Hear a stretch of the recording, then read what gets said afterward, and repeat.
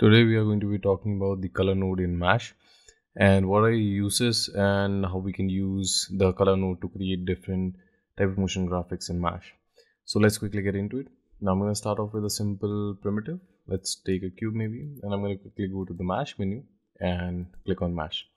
So we have this distribution node uh, by default and I'm going to just change this to grid. You can keep it to whatever you want and let's make this uh, let's keep it to 3 something like this. I'm going to turn off the grid just so we can see a little better. Uh, and uh, i'm just gonna quickly change the color of this a bit darker.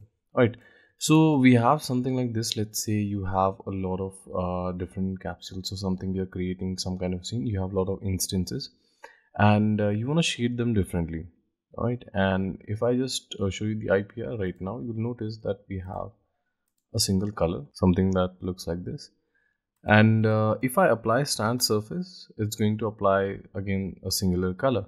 So that's why uh, mash color was introduced to give a random color to each and every object. So what I'm going to do is quickly go back to mash you can click on your mash again. And in the mash I'm going to click on color and add color node. So you'll notice that instantly everything turns white because the color has been set to white. Uh, now there are a couple of ways that you can randomize your colorization the first thing is you'll notice that we have random hue, saturation and value which means we have color, the amount of richness and how uh, light or dark it's going to be. So you can just turn this up alright and you'll notice that we have something that looks like this. So again if you want uh, something like if you are uh, really into pastel colors or flat colors you can keep the saturation to very minimal. And also you can do the same with value randomness to keep it somewhere around 0.2 and you can also play around with random hues let's say if you don't like the color if you um, like the color palettes that you have on the screen but you don't like the way that they are organized what you can do is you can simply change the seeds value to change how they behave. And then you'll have something that looks like this right? So you, uh, you can always go back and change anything.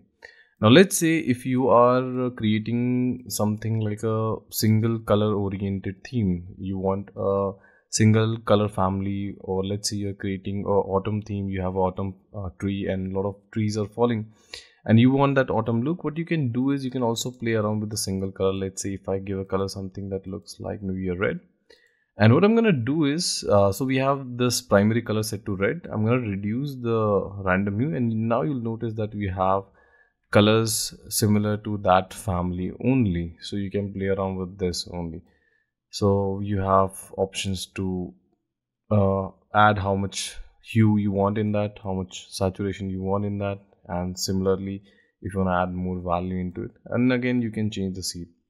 So you can have one oriented theme as well. And uh, the other thing that uh, you have to understand while playing with color node is that this is not renderable directly with Arnold so if I just show you the IPR You'll notice that IPR still renders it as a grayscale. So we have to fix this. We have to find a way to transport this directly into our stand surface. So what we are going to do is basically click on this and let's apply our new material. Assign new material, go to shader and stand surface. So what stand surface does is basically adds our color. We can always go here, add textures and our nodes and so on. So we are going to make a single attachment. We want to transport this color information into a stand surface. So I'm going to open up my Hypershade and let's right click graph network. And in here, I'm going to search for something called as user and uh, you'll find user data color. Click on this and uh, you'll notice that we have uh, option to add our attribute and then we have the default value. I'm going to attach this to the base color. Right, we get flat black color and in this attribute what we are going to do is type in color and capital S set right? So this is what we are going to type.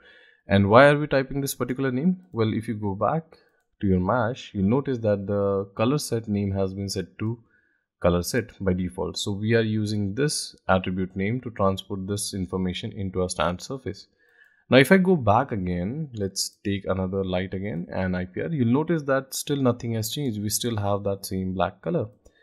So what is uh, something that we are missing out? Well, what we have to do is the last thing is you click on your repro mesh shape, all right, go back to your Arnold, right? And if you scroll down, you'll have something called as export vertex colors.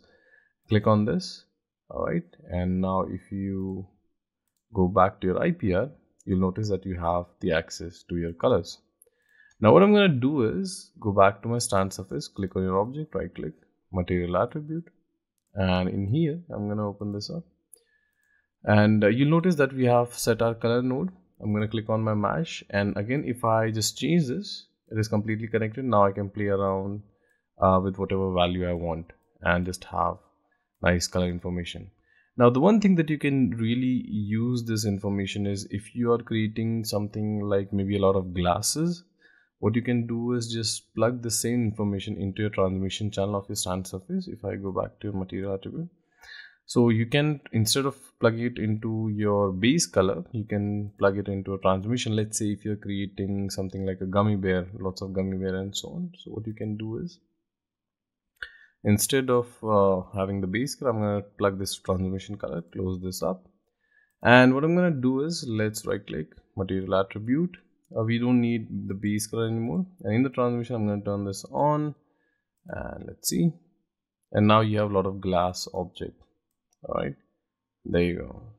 So this is a really nice way of creating random glass color if you're playing with a lot of glasses and everything now let's quickly use this information to create some kind of scene. All right so what i'm going to do is let's uh, maybe take a simple cube. I'm going to just uh, change this a bit. And we'll create some kind of lego or something like that. And we'll see how we can use this information. And uh, I'm gonna just increase this to maybe like 14 bring this up. All right let's keep it here somewhere all right? And uh, I'm gonna control D this and shift D right looks good. Let's keep it here. Select everything shift right click combine. You can also go to mesh combine all right? I'm gonna delete the history and freeze transform and we can also name this as Lego all right? Uh, so it's uh, ready to um, mash. So I'm gonna click on mash and we have our distribute let's uh, go to our distribute and I'm gonna just click on grid. I'm gonna increase the numbers. Let's uh, have this. All right now I know we have not uh, mm, actually learned a lot of other nodes but I'm just gonna use a new node for the experimental just to showcase this. We are going to be covering the random node but this is just to show you what uh, you can do with this kind of scene and uh, let me just transform this. Alright so I'm just uh, using this random node uh, just to give you an understanding how you can create an abstract art using this. Uh, it doesn't have to be random node. You can use it whatever you want. In a couple of days we'll see what you can do with random node. Anyways uh, going back to mash let's add a color node. All right and uh, again if you like you can keep any color you want. All right and again let's right click assign new material shader stand surface. Let's call the stand surface our lego.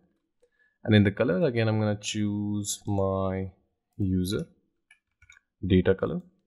And in the attribute i'm going to type in color capital s and set. There you go. Again one more thing has left which is uh, export our vertices color. So again remember to go to your repro mesh shape Arnold and export a vertex color.